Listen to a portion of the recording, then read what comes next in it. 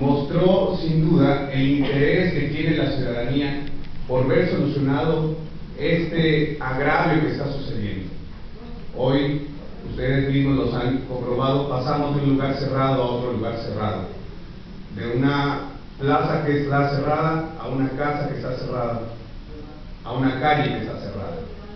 Son espacios públicos los que tenemos que rescatar.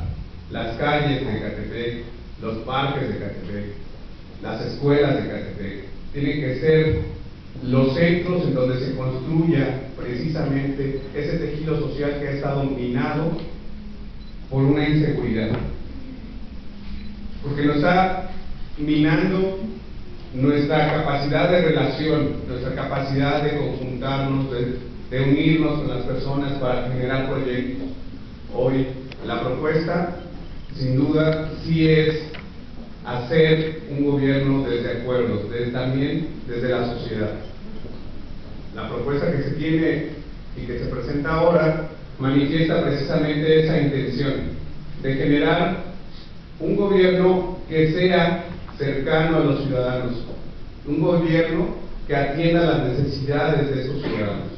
Lo que está más allá del interés político está el bienestar de los ecatepenses.